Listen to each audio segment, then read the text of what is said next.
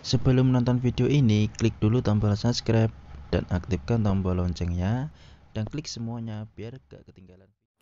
Assalamualaikum warahmatullahi wabarakatuh. Ketemu lagi bersama saya di channel Pasti Berhasil. Di kesempatan kali ini saya akan membagikan bagaimana cara untuk cek email kita aman atau tidak Atau data pribadi kita pernah bocor atau tidak Atau kita bisa kena dihang orang ya Nah di sini bagaimana cara untuk cek email yang aman atau tidak Kalian bisa ikuti cara yang ada di video ini ya Nah jadi buat kalian pengguna HP yang ada emailnya segera cek email kalian cara ini aman atau tidak ya. Nanti kalau aman kalian tenang, oke? Okay? Di sini kita langsung ke tutorial ya. Di sini kita klik yaitu Google Chrome.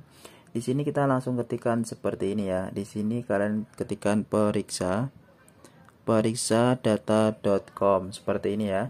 Setelah itu kalian klik yaitu masuk. Nah, tampilan kalian seperti ini. Cara untuk mengeceknya kalian bisa memasukkan email kalian. Nah, di sini saya akan memasukkan emailnya dulu ya. Oke, di sini saya sudah memasukkan emailnya dan di sini saya akan menyingsornya ya. Nah, oke, di sini kita langsung klik periksa. Nah, di sini tampilan akan seperti ini. Jika tampilan seperti ini, kalian tenang saja. Ini kan gangguan, kalian bisa ulangi lagi. Nah, di sini kita klik batal. Di sini kalian tinggal masukkan email lagi ya. Nah, emailnya kita masukkan dulu. Nah, setelah itu kalian langsung masuk.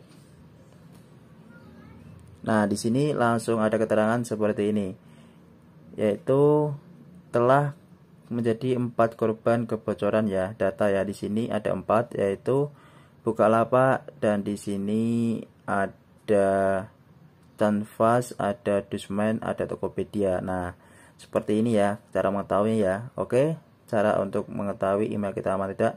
Nah, di sini cara nanti kalian bisa baca selengkapnya. Nah, di sini tuh ada banyak bocor nah oke semoga bermanfaat sampai di sini ya